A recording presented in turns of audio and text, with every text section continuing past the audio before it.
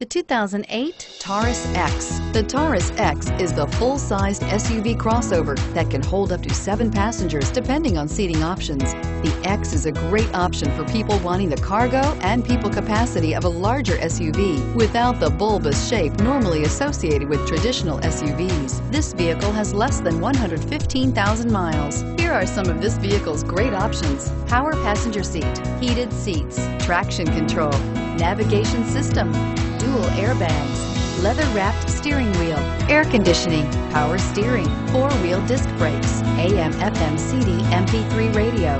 This isn't just a vehicle, it's an experience.